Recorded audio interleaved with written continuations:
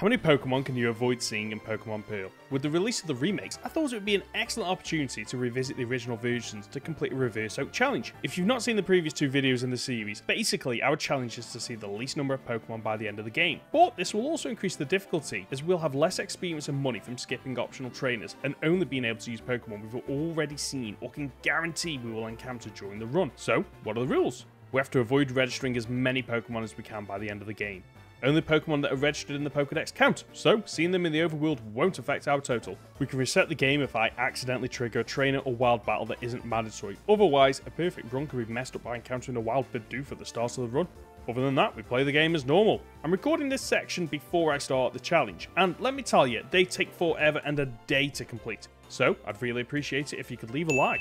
Unlike the previous Reverse Oak challenge, it doesn't matter which starter we choose, as between our rival, Dawn and mandatory trainers, we'll see all three starters and their evolved forms. But to play it safe, I choose Piplup, as its evolved form can learn 7 of the 8 HMs. With our starter in hand, we have our first mandatory battle against a wild Starly. Our first task is to meet up with the professor who hands us his Pokedex, which isn't going to get filled up, unlike our rival's mum. Jeez, he's a bit glum, I don't think that joke went down too well with good old Professor Rowan. After returning to Twinleaf Town, we can proceed north, where Dawn prevents us from proceeding. Turns out we need to do the catch tutorial, but surprisingly, neither her Chimchar or the Wild Bidoof are added to our Pokedex. There are plenty of mandatory trainers on this route, so before we hit Jubilife City, we encounter Shinx and Bidoof. Great. The next mandatory trainer is Barry. Sorry, I meant Rab.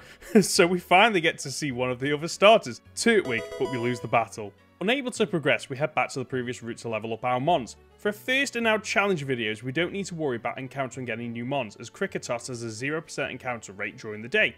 While here, we add Shinx to our team and a shiny Starly! Another first now challenge videos. The odds of encountering a shiny in this game are 1 in 8,192, so of course we add it to our team. With our new mons, we beat Barry and resume our journey, but it's not until the Oreburgh gym that we increase our total. We can avoid the trainers on Route 203 and in the gate by walking around them, and in the mine, trainers only battle you if you speak to them. You can also skip the two trainers in the gym. The first trainer uses Geodude and the second uses Geodude and Onix. Gym leader Roark also uses these mons, so there's no harm encountering them early for the experience and money. His final Pokemon is Cranidos, and thanks to Piplup's bubble, it's an easy battle. So we wrap up the first gym with 8 mons on the counter, or 5.3% of the Sinnoh Pokedex. Time to head north of Jubilife City, where the Team Galactic Grunts are causing mischief. We're forced to defend Rowan's honour in a double battle, from which we have 3 mons to our total. Zubat, Wurmple, and Chimchar. Great, thanks Rowan. Once again, between Spinners, Roamers, and Graciaries, Route 204 has no mandatory trainers, so we arrive in Floaroma Town to deal with Team Galactic. In the town's forest, we have to deal with two grunts and add Silcoon. With the Windworks key, we take on the Team Galactic member protecting the building, who uses Glameow. And inside, the first grunt uses Cascoon. The lack of experience from battling all the trainers in the game finally catches up to us as we hit a brick wall against Commander Marty's Purugly. It's only two levels higher than my Mons, but we don't live long enough to put a dent in its HP as it hits hard. Grinding outside the Windworks isn't an option as we constantly encounter Mons we haven't seen yet and are forced to reset the game. So we settle for grinding against the Bidoofs on Route 204. They're a low level, so it takes a while to get a few extra levels, which I don't think makes a difference anyway, as on our winning attempt we just spam double team. Anyone would think this is one of my solo challenge videos. Progressing along Route 205, we skip all 11 trainers and their 6 currently unseen Pokemon. We arrive in Eterna Forest where we're greeted by Cheryl, who I'm going to blame for what happens next. Making our way through the forest, we come across two trainers who we can't get around as we don't have HM Cut. And as it's a double battle, it means we see our companion's partner, Chansey, as well as the trainer's Pokemon, Pachirisu and Beautifly. And just around the corner, we're given no choice but to battle the two Psychics and their Abra. The remainder of the forest is quite open and has branching paths, allowing us to avoid the remaining two double battles. Our next stop is the Eterna Gym, where Gardenia refuses to show herself until you've bested all the gym trainers. So we had Cherubi, Roselia, and Budew. The gym leader's first two mons we've already seen, but her final Pokemon, Roserade, wrecks our team, as we're still underleveled. But as she starts with a Cherubi, it allows her to set up double team once again, but even then it's a close battle. You might be wondering why I've not evolved my team yet. The simple answer is I'm not sure if I am going to see their evolved forms in this run, so better to be safe than sorry. Just outside the galactic base, Cynthia appears to gift us HM Cut and asks if you've left a like on this video yet. It's a great opportunity to help us reach new people and get some of that sweet, sweet YouTube watch time. Okay, okay, I'll cut it out. What? I'm having a champion of a time. Okay, moving on. In the Galactic base, there are plenty of trainers, and just like all villainous Pokemon teams, they use a lot of the same Pokemon. So, after battling 6 Grunts, we only increase our total by 1 with Kadabra. Commander Jupiter is up last, and her Skuntank hits hard. Once more, it takes several attempts, and you guessed it, double team. We head south along Route 206 where once again you can skip every trainer, which is slightly annoying as two of them has Staravia, Starly's evolved form. Once we've finished on the cycling path, we head east on Route 207 where, just like most routes so far, all the trainers are skippable. If you're willing to take the long way around that is. Doing so allows us to skip 5 more Pokemon. We fly through Mount Coronet and Route 208. We're running so fast we bump into Hiker Jonathan, but we've already seen Onix, so no sweat. From here, it's just a short staircase through the grass and we arrive at Hearthome City in a challenge by Barry, adding Buizel, Ponyta and Grotle.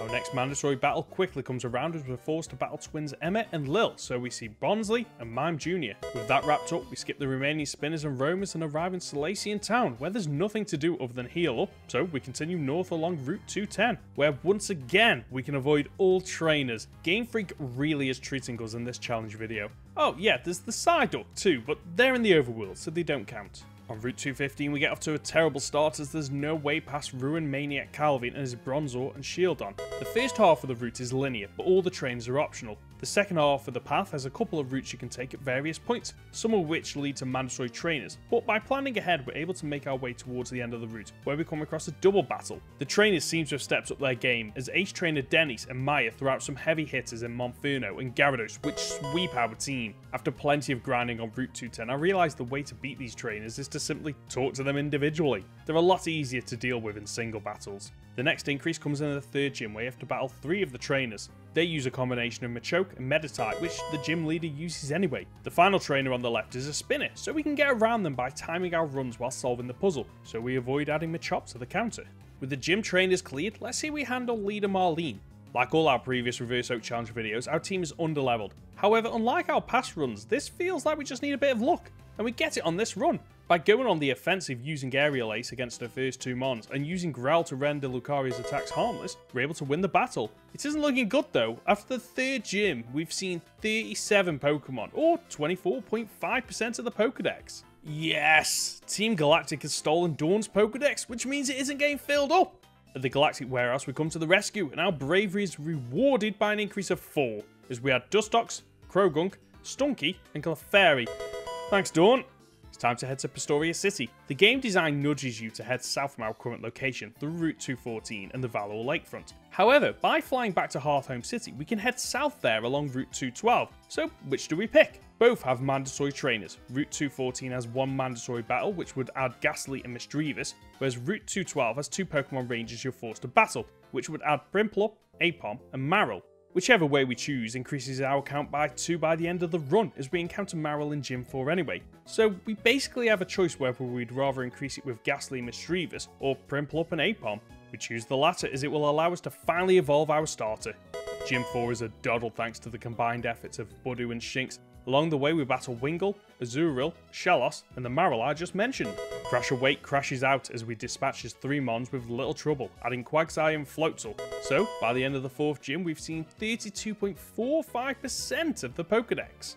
Next up, we have to deal with the Team Galactic Grunt who's talking about blowing some stuff up.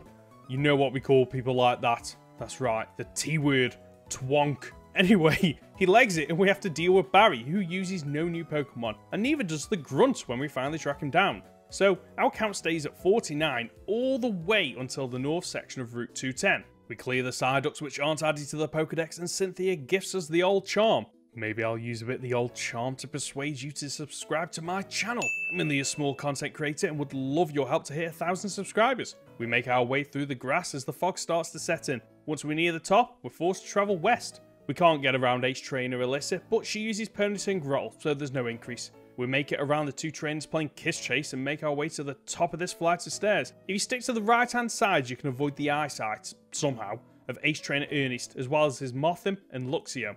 The next mandatory trainer uses a Machoke, so no increase here either. However, Birdkeeper Brianna adds two new Pokemon as she refuses to look away from our path. So we add Hoothoot and Noctowl. There's just one more trainer standing between us and Celestic Town, but as he's a spinner, we avoid Girafarig. In this town, there's just one trainer to deal with, a Galactic Grunt and his two previously seen Mons. We pick up HM Surf and return to Hearthome City, again. this time to claim the 5th gym badge. The gym puzzle is one of the simpler ones in the game, and it allows you to avoid every single trainer, so long as you know which doors to take. So we avoid adding Gastly, Haunter, Misdreavus, and Drifloon. The level curve is starting to catch up with us. We're under-leveled by quite a bit and so lose to gym leader Fantina and her Drifblim. We grind just west of Celestic Town as the Wild Mons levels are about the same as ours so it makes grinding quite easy. We also catch an Abra and evolve our Budew. So, with our new Mons, we're able to beat Fantina's Gengar and Mismagius. Five gyms down, and we've seen 35.8% of the Pokedex. Our next destination is Canalave City to the west. It's a short journey through Route 218. Here, there are two paths and a few trainers, and by heading north and then west, we can avoid them all. At the entrance to Canalave City, Dawn's dad pays us a visit. Oh, bugger. I explained that earlier on I wasn't talking about his wife, I was talking about Barry's mum. That misunderstanding out the way, he upgrades our Pokedex. Midway through the city, we have a clash on the big bridge. There's a reference you haven't heard for a while. Barry is obviously upset about the mum joke and attempts to beat us down. He doesn't succeed, of course, but he tried. During the battle, we had Staravia and Heracross. The Steel Gym is up next, and the mandatory trainers add Steelix, Skorupi, and Azumarill? Are we sure this is the Steel Gym? Gym leader Byron, however, does use steel Pokemon. We've already seen Bronzor and Steelix, however Bastiodon is new, bringing us to 60 seen Pokemon, or 39.7% of the Pokedex registered by the end of the 6th gym. To progress the story, we head to the library to tell Professor Rowan that the Pokedex isn't getting filled up, unlike... Oh.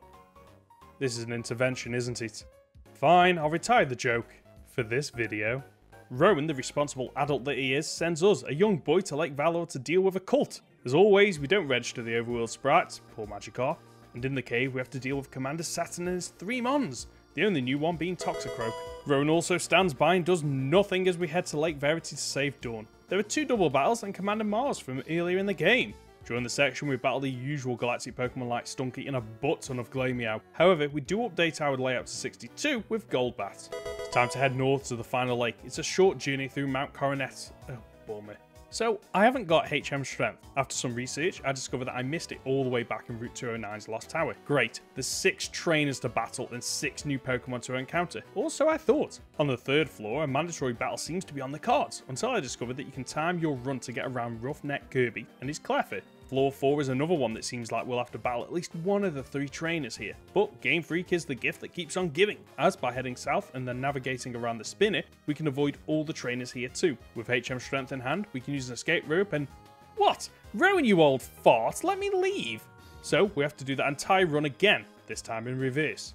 We head through the east entrance to Mount Coronet. Again, this time armed with strength. With repels on, we hit Route 216 with no wild encounters.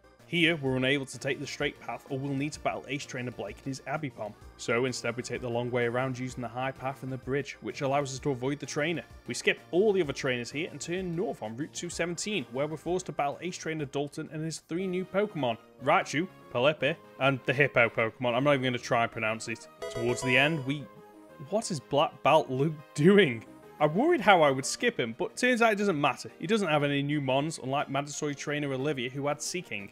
Before we can tackle the final lake, we get lost in the forest. Yeah, I don't know Gen 4 well at all. We eventually stumble upon Snowpoint City and the 7th gym. Like Gen 2's Ice type gym, I thought I'd be forced to battle a trainer in here, potentially adding an extra 5 to our total. But like our Pokemon Gold Reverse Oak challenge, there's no mandatory trainers in this gym if you move quick. However, I do accidentally trigger a battle and add Snover to our total. It's not an issue though, as the gym leader will use them on anyway. Speaking of the gym leader, Candice uses a level 42 Abomasnow, a Sneasel, and a Medicham. And wouldn't you know it, we clear the gym on our first attempt. Nice. So, with just one gym remaining, we've seen 70 Mons, or 46.4% of the Pokedex. We follow the story to the final lake, then to Veilstone City, and it's a long time before we hit 71 seen Pokemon, as all the Galactic trainers in their warehouse in Galactic HQ use the usual Mons. It's only at the end of this part of the story that we increase our total as Cyrus adds the previously unseen Murkrow. We wrap up this part of the game with a victory over Commander Saturn, and then head to Mount Coronet where our recently caught Machoke who has Rock Climb. We're so underleveled that the journey through Mount Coronet is time consuming. Because the wild Pokemon at higher levels, the max repels aren't very effective, so we return to our tried and tested method of saving every few steps. Along the way I catch Abomasnow and Medicham. Several galactic grunts try to stop us as we reach the peak, but as usual they all use the same Pokemon we've previously seen. Eventually though, we make it to the Sky Pillar. There are a few battles that come thick and fast here. Unsurprisingly, there's no increase to our total during the battle against the final two grunts standing guard. Commanders Mars and Jupiter are up next, and wouldn't you know it, the only increase comes courtesy of Barry who starts with Munchlax. Thanks dude. We have no time to grind as we're thrown straight into the next battle as Cyrus's Pokemon overwhelm our team. We manage to make it past new edition Honchkrow before Gyarados wipes our team. After some leveling up and switching up our team, we have to make the entire trip up Mount Coronet again, which means battling the commanders in a double battle once more. On the second attempt, we're able to best Cyrus and add Weavile and Crobat in the process. So we wrap up this section of the game with 76 Pokemon seen as we encounter and catch Palkia. Next up is Sunyshore City, which we can get to through Route 212. Along the way, we have to battle a trainer who uses Feebas and Gastrodon. In the gym, we're forced to battle most of the trainers, so we had Mr. Mime, Luxio, and Bibarel. Time for Leader Volkner. Some of his mons we've already seen, but we had Ambipom, Octillery, and Luxray. So we wrap up the gym challenge having seen 55.7% of the Pokedex. Despite Route 223 being a sprawling ocean with a couple of branching paths, these often lead to dead ends, so the route is more linear than it originally seems. So we have to battle swimmer Oscar who uses Mantyke, Remoraid and Mantine. The remaining trainers north can all be avoided thanks to the large body of water they're in. It's time for Victory Road and I have no doubt we'll be increasing my counter past 100 here. Up first is Ace Trainer Maria. Spin for me! Ugh. We hit 88 with Golduck, then 89 with Blissey. On the next floor, we're required to solve a small puzzle to proceed, but doing so means Ace Trainer Omar challenges us. All of his mons are previously unseen, so we had Rapidash, Carnivine, and Rampardos. Our bad luck continues as we're forced to battle the very next trainer who uses Clefable and Torterra. We continue through the cave and cross Black Belt Miles' eyesight. He sends out Machamp, and in the cave's lobby's floor we cross Psycho Valencia and a Chingling and Chimecho. And it's not over yet as a Dragon Trainer adds Gabite. As we approach the end, veteran Edgar refuses to look elsewhere, so we finally jump over 100, adding Tentacruel, Golem, and sadly, Empoleon, which I thought we might be able to avoid. Oh, we're not done yet, as the final trainer adds Gible. That's our biggest jump yet in a single area, with 15 new mons seen from unskippable trainers. Time for the Elite Four. Barry? No! Thanks to you, we had Staraptor and Snorlax. Our team is underleveled, but I'm curious how far we can make it in the Elite Four. Aaron is our first opponent, and during the battle we had Drapion and Vespiquen. Against Bertha, we update our total to 109 as we encounter Sudowoodo, Hippowdon, and Wishcash. Flint is the third member of the Sinnoh Elite Four. He uses the fire Pokemon Infernape and... Lopunny? And the final member of the Elite Four, Lucian, uses Girafarig, Alakazam, and Bronzong. You're probably noticing a bit of a jump in my levels, and it's because Cynthia trashed us on our first attempt. So after plenty of grinding against the Elite Four, it's time to wrap up this challenge and find out how many Pokemon you can avoid in this game. Cynthia uses new additions Spiritomb, Garchomp, and Milotic. So, in Pokemon Pearl, you can avoid seeing only 34 Pokemon and you're forced to register 77.5% of the Pokedex while completing the game. Thanks for watching. If you've enjoyed this video, then check out another one of my Pokemon videos on screen now. For my next challenge video, I'll be attempting to beat Pokemon Brilliant Diamond as a Team Galactic Grunt. Until next time, remember to flex your inner geek. See ya!